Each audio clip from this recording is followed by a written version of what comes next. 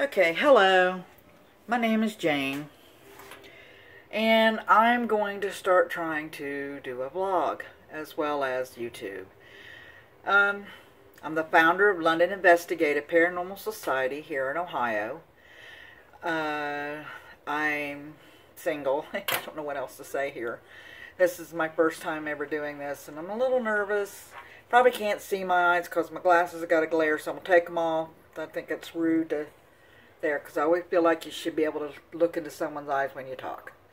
Nope, that looks really bad, so we're going to put those back on because, wow. I, you can tell I haven't had any sleep lately. I've, uh, I want to put out here to Omar Gosh TV. I also want to put out to the fam, James, um, to Urban Ghost, to Patty, to Melissa, all of you. Um, thank you. I the reason why I don't have that much sleep and the reason why I look so tired is because I my mother passed away in May and I lived with her for so long, helped take care, take care of her. She passed away with cancer. Um, but regardless of that, if it hadn't been for you guys, I probably would not have gotten as far as I have. I um, almost had a nervous breakdown over it. Um, I I'm still reeling from it. I love her to pieces. We were, she was my best friend. However, that being said, I think that's why I look so tired. But I am getting a little bit better rest, and I'm starting to deal with things a lot better. Thanks to you guys watching your videos, making me laugh. Um, watching Omar and his family, his kids, they're they're just adorable. I'm sorry about you and Melissa, but like you said, you know, you guys did this. Um, you're trying, you try to make it work. It didn't work.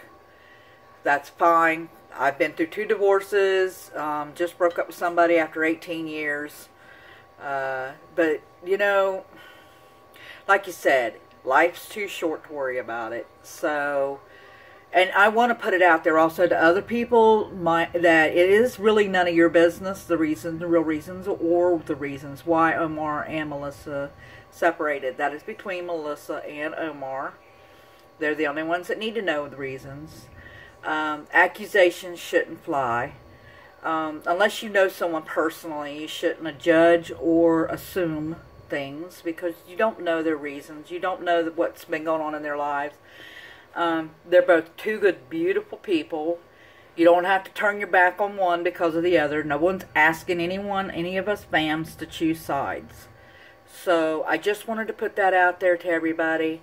I am going to try and start doing some YouTubing and vlogging if I can figure out how to do this because I think I'm doing this wrong, but I'm really trying really hard. So with that being said, I'm going to go ahead and let everybody go and have a wonderful day. And I hope this works. And if it doesn't, oh well, I at least tried. I just at least got that word out that I that I needed to tell you guys. I'm going to put my glasses back on because I am going to tell you I am blind as a bat when I ain't got these on. Um, okay, there. That's better. I can see what I'm doing.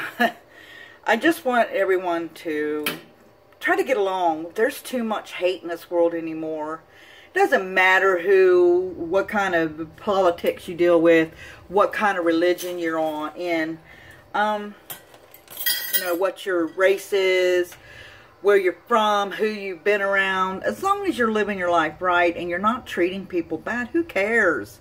I, I like everybody. Um,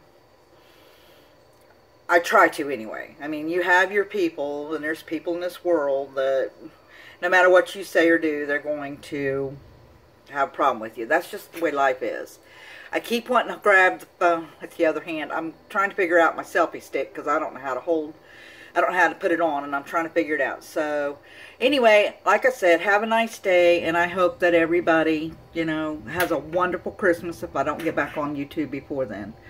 And a Happy New Year. Please be safe. Love you all. Mwah. Bye.